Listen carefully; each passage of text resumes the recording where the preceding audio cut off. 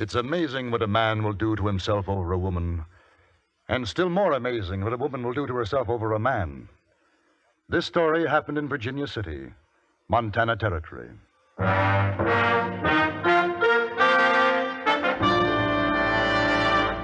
Frontier Gentleman.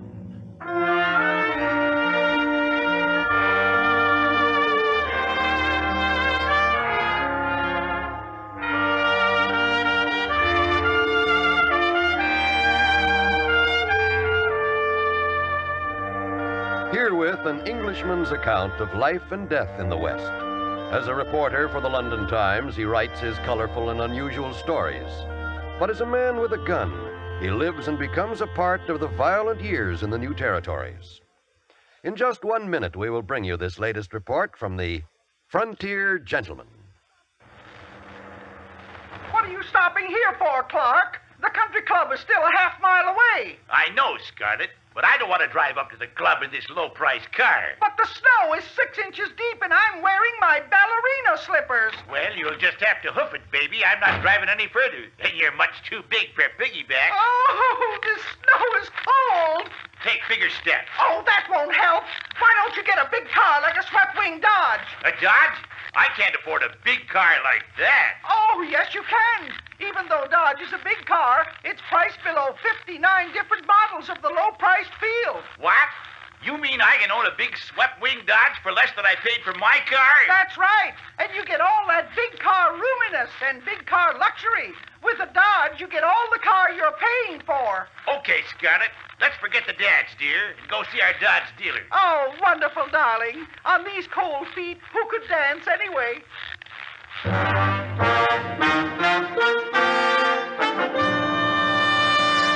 Now, starring John Dehner, this is the story of J.B. Kendall, Frontier Gentleman.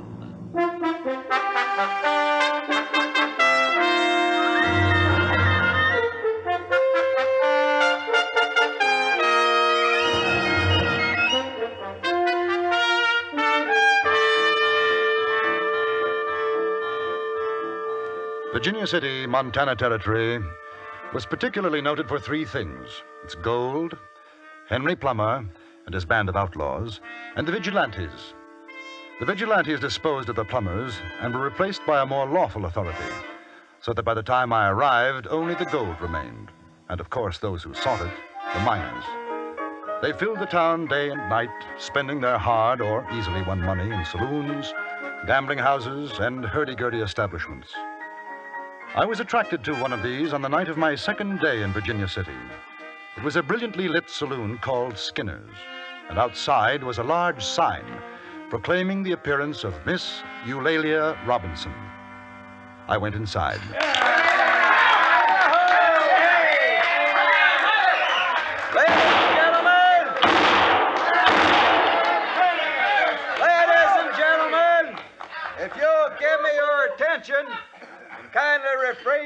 shooting six guns in the establishment, because the next man that does it's going to get thrown out on his saddle. With your kind permission, I have the honor in presenting the world famous actress, Miss Eulalia Robinson. She has appeared before the crown heads of Europe and honors us with a presence tonight by a special appointment to Her Majesty, the Queen of England. Ladies and gentlemen, Henry Irving's leading lady, Miss Eulalia Robinson.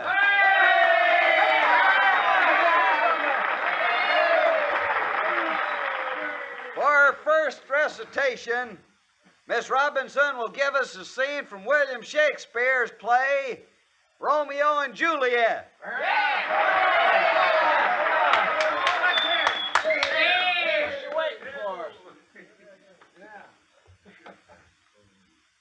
Thou knowest the mask of night is on my face. Else would a maiden blush bepaint my cheek. For that which thou hast heard me speak tonight would I dwell on form? She was in her late 30s. Not a good actress, not even beautiful. But her manner, the dignity of carriage, created an illusion of beauty which captivated her audience. She remained on the stage for a solid hour, and by the time she was finished, I could see that every man in that saloon was completely taken by her. And more than one imagined himself to be hopelessly in love.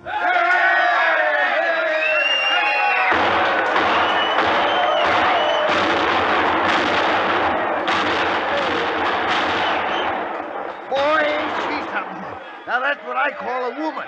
Hey, where you going? I want to meet her. Who don't? Hey, partner, wait for me. Mr. Skinner? Yeah? My name is Kendall. What? Uh, Kendall. Kendall? Yes, that's right. I'd like to meet Miss Robinson. Yeah, you and a hundred more. It'll tear the place down. Now, I'm a correspondent for the London Times, uh, newspaper. Newspaper man. Yes. Uh, sure, come on, duck under here.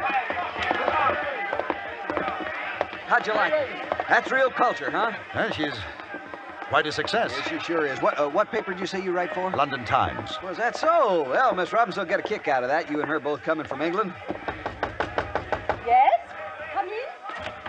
Oh, that was just fine, Miss Robinson. Real fine. Say, this is Mr. Kendall. He writes on the London Times. Mr. Kendall. How do you do? May I present my business associate, Mr. Grimes? How are you? Mr. Grimes? I guess you folks have plenty to talk about. I'll go on back and get the boys quieted down. Virginia City never heard anything like you gave us tonight, Miss Robinson. Oh, thank you, Mr. Skinner. Not at all. I'll see you later. Well, won't you sit down, Mr. Kendall? Oh, wait a minute. Uh, Kendall, you got uh, identification or something? Proving you're a correspondent? Um, not on me, no. I don't think it really matters, Well, it does to me. You know what I mean, Kendall. Miss Robinson is popular. A lot of fellers like to come busting in and make any excuse, you know what I mean. I gotta watch out for her interests. I understand. And she's kind of tired right now. Why don't you let her go till tomorrow? If you would rather, Miss Robinson? No, not at all. I'd rather enjoy being interviewed tonight. And I say it's not a good idea. You're being extremely rude, James. Perhaps you'd care to take supper with me, Mr. Kendall. Why, I'd be delighted. No, No? no, no, she's not gone. I hope you'll forgive him, Mr. Kendall. He thinks that every man who looks at me is thinking dire and dreadful thoughts. My intentions are completely honorable, Mr. Grimes. Laley. I don't want to discuss it anymore, James. Now, both of you, please wait outside. I must change my clothes. I shan't be a moment, Mr. Kendall.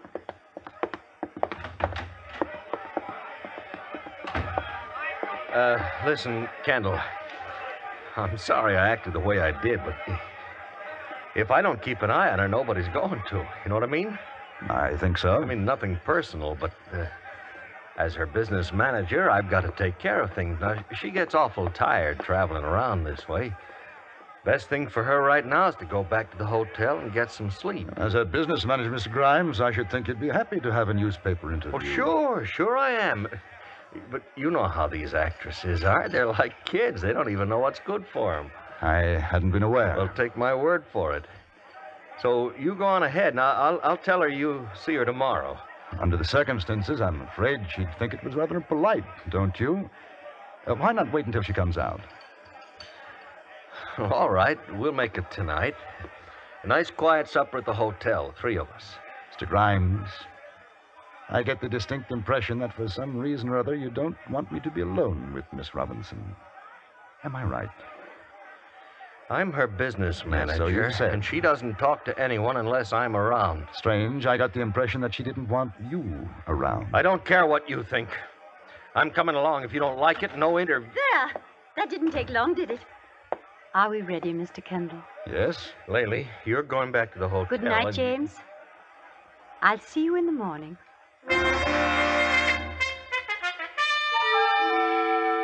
We walked down the street to the hotel. She talked about some of her experiences in the territory, rather nervously, I thought, seeming almost deliberately to avoid her background of successes in England. I ordered champagne with dinner, and I could see that rather than making her feel more at ease, the drink only increased her anxiety. I'm afraid that James is right, Mr. Kendall. I must be tired. The champagne makes me feel quite giddy.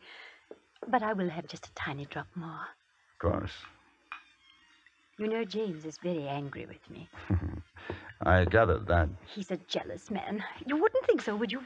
But he is. I don't think I blame him. He has no reason to be. We're only business associates. It's not as though we were married or anything. James doesn't believe in marriage. He says it deadens one. Do you think so? I don't know. I've never been married. My work hasn't allowed for it. Did you meet Grimes in England? Oh, no. No, uh, that was in Boston. He saw me perform and asked to represent my interests. I see. Oh, he'll be very angry about this. Me being with you tonight. May I ask you something? Please. Why are you afraid of him? Afraid? Oh, afraid of James? How utterly ridiculous. Does it show so very clearly? Yes. May I have some more champagne?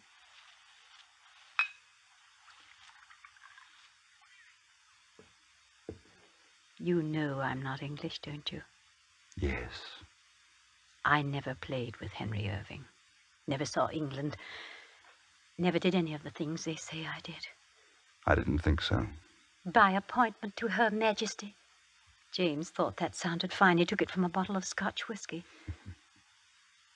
Do you know what I am, Mr. Kendall? I'm a liar. My whole life is a lie. I'm not even a good actress. I was completely charmed by your performance. How sweet. How gentlemanly and nice you are. Mr. Kendall, you're terribly attractive. You're the most attractive man I've ever met. No. No, that's not true. My husband was the most attractive man.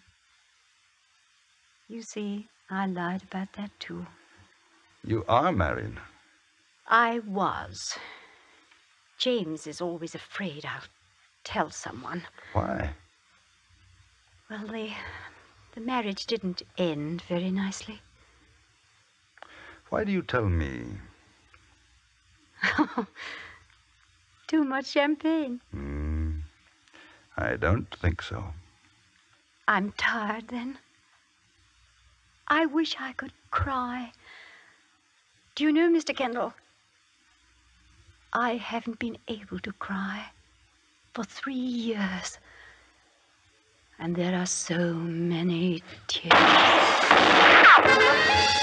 The shots had come from outside. Just for a moment, I saw a shadowy figure at the broken window, then it was gone in the night. Miss Robinson was lying on the floor. A thin line of blood ran from the corner of her mouth. She was unconscious.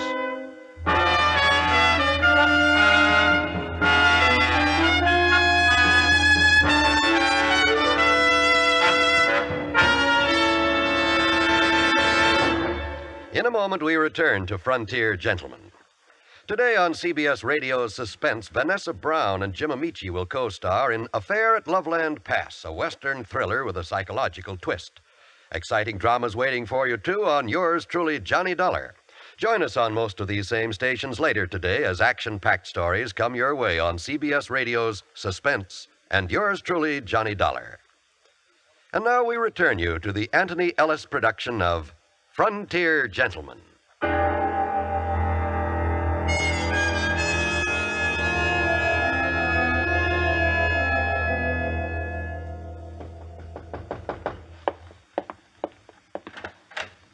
I just heard. Who did it?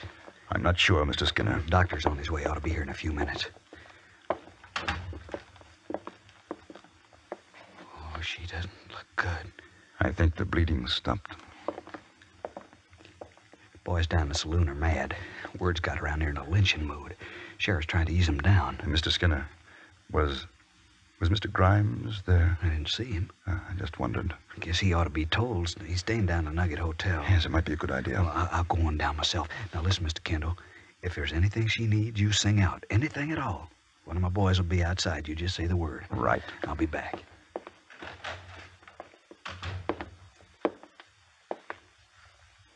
What a strange feeling. Miss Robinson, No pain at all. I've always thought there would be. the doctor is coming. I don't really mind, you know. Don't talk. Funny. I never believed him. He always threatened to do something like this. Dr. Todd, where's the wound, please? Oh, Uh, kindly wait outside, sir. Yes.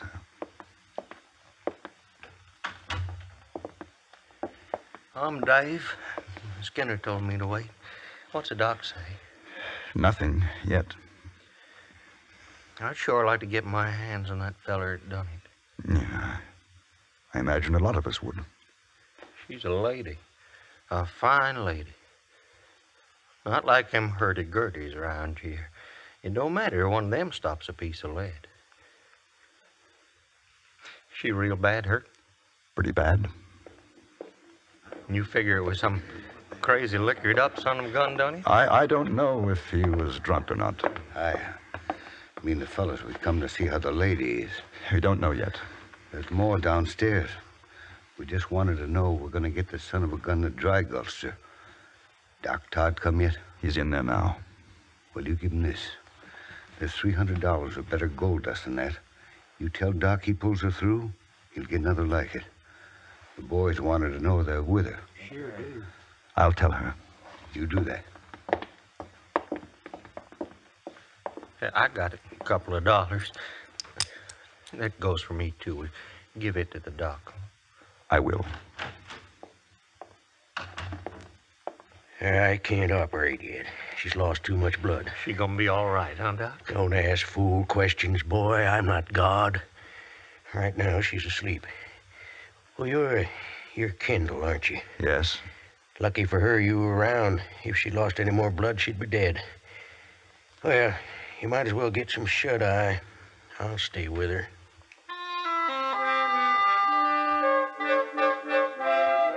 I left the hotel and went out into the street. There were 50 or 60 men standing about, quietly, waiting. I told them all that I knew. Then I saw Mr. Skinner hurrying up. He motioned to me, and we walked away from the crowd. Grimes. Couldn't find him. Oh? Hotel clerk said he hadn't seen him all night. Now, I've been thinking. Is there something wrong between these two? I heard arguing this afternoon in her dressing room over at the saloon. I didn't think anything of it then, but with this. I think we'd better find him, Mr. Skinner. He did it? I don't know, but it's possible.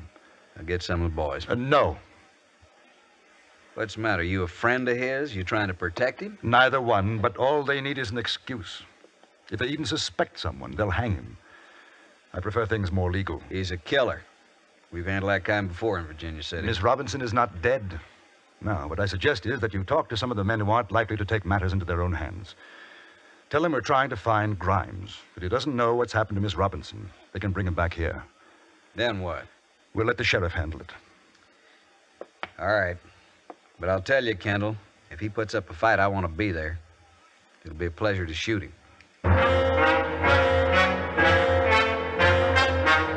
The search began.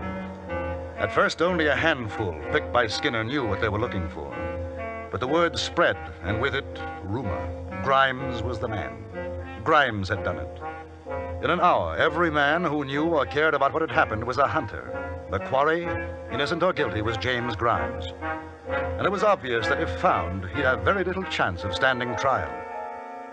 At about three o'clock in the morning, I returned to Miss Robinson's room. Any change, Doctor? No. They get the fellow that did it. Not yet. Makes you wonder, doesn't it? How come a man would want to kill a woman like this?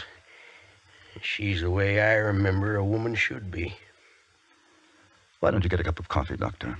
I'll stay with her until you come back. I think I will. Stretch my legs a minute.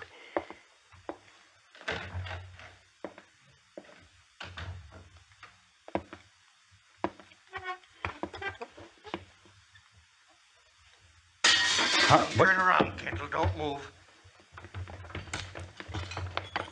You look a little worse for wear, Grimes. They're after me. They're trying to kill me. Any reason why they shouldn't? Is she dead? No. I warned her. I've been warning her what had happened. Put away the gun. And get myself killed? You'll be safer with me than the mob outside. You. You're the trouble, the reason for everything. It's been men like you everywhere we go, every town she has to find someone. I warned her. I told her I wasn't going to stand it any longer. And I heard a different reason. A different reason. What did she tell you? About her husband. An unhappy marriage. She said that? Told you about her husband? Yes. You want to know what really happened? She had a husband, all right, in Boston. I didn't know it at the time. I met her. I fell in love. She went away with me. After we were married, she told me. She. She is your wife? Surprising? Look at her. It's another one of her little ways. She thinks it's better if people don't know. She thinks I don't know why she wants it that way. I guess you could say we killed her husband. He committed suicide after she left him. Oh, you don't know. You don't know what it's been like. But I told her what I'd do if she went after another man. I'm sorry. It doesn't matter anymore. I hope she dies. Then I won't have to feel these things. If she dies, they'll hang you. Yeah. Mm. James? Laley. I'm sorry, Laley. Such a jealous boy. I never meant anything. Don't. Don't, Laley. I like to flirt. That's all. A woman likes to flirt. It doesn't mean anything. Mr. Kendall knows that. Can't you stop acting? Even now, can't you stop? Listen to him, Mr. Kendall. Has he been telling you what a terrible woman I am? I suppose it's true. But you're not much of a man, James. Laley. You don't have to listen to this, I'll Grimes. kill her. Come outside. Kill no, her. no, you don't. Give me the gun. Give me the gun. Laley. Laley. She's dead.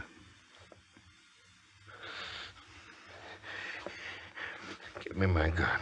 I can't. You'll get a trial. Perhaps they'll understand. There'll be no trial. Now, Grimes, come back. Grimes. Grimes!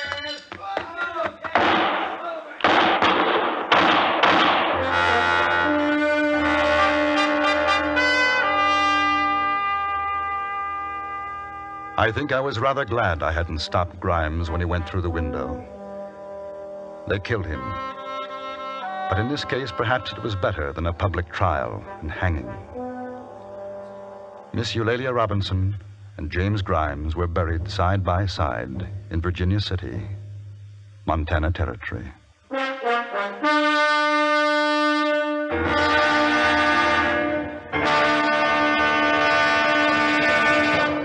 Frontier Gentleman was written, produced, and directed by Antony Ellis and stars John Dehner as J.B. Kendall.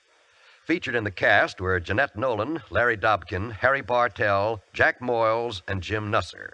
Music was composed and conducted by Wilbur Hatch.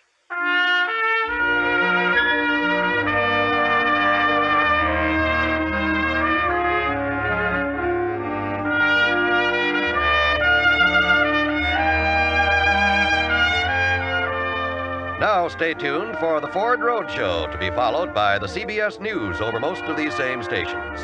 Join us again next week for another report from the Frontier Gentleman. John Wald speaking. This is the CBS Radio Network.